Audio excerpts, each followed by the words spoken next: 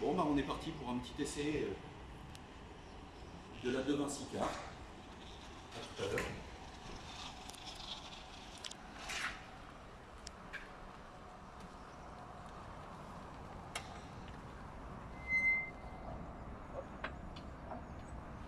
On passe en marche avant. Et à plus tard.